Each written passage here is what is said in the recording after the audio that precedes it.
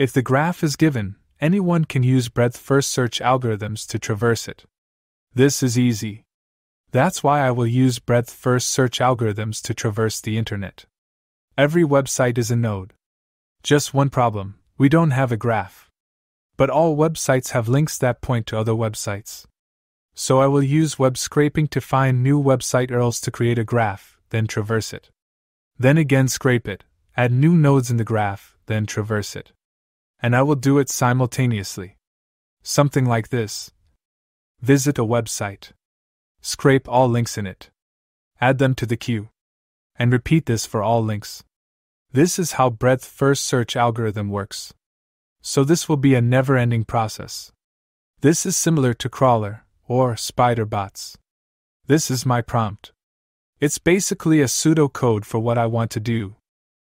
Let's give this prompt to ChatGPT.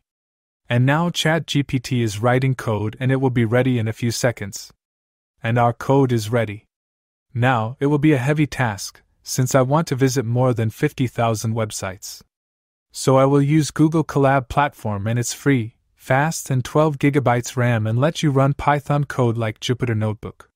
Now copy and paste our Python code for BFS search. Let's execute this code. It's asking for an entry point. I'm gonna use python.org. Then press enter.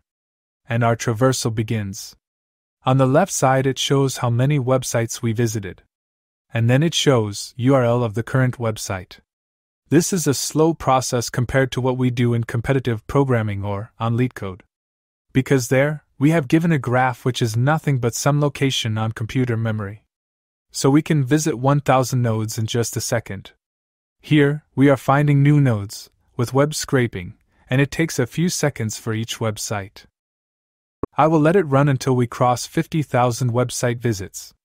In case you didn't know, this is how web crawlers or spider bots work. Maybe in the next video, we will build our crawler, just like Google Spider Bot or Bing Bot that collect website URLs and store them into a database. Let me fast forward the video.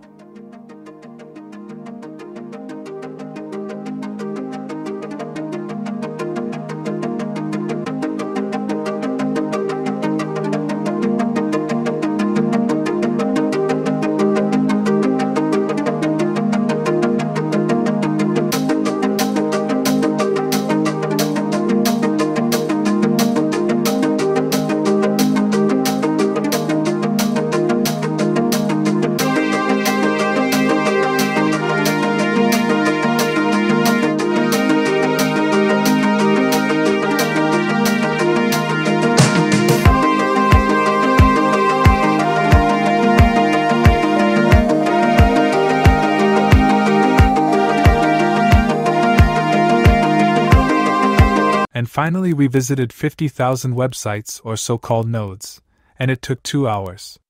Try to run depth first search on your own. It will be fun. Thanks for watching and see you in the next video.